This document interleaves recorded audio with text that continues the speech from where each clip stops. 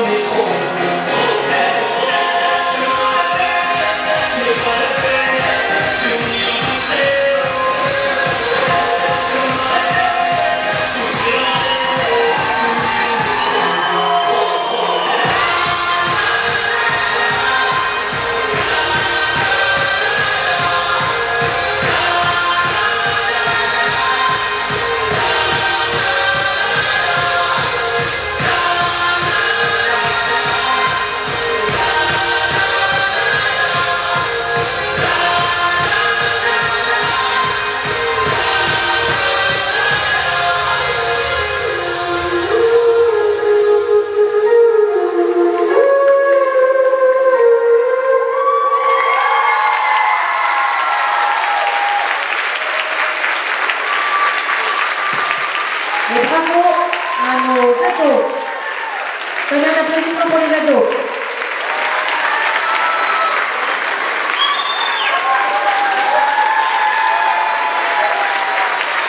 Et je crois qu'on peut féliciter surtout le seul garçon, le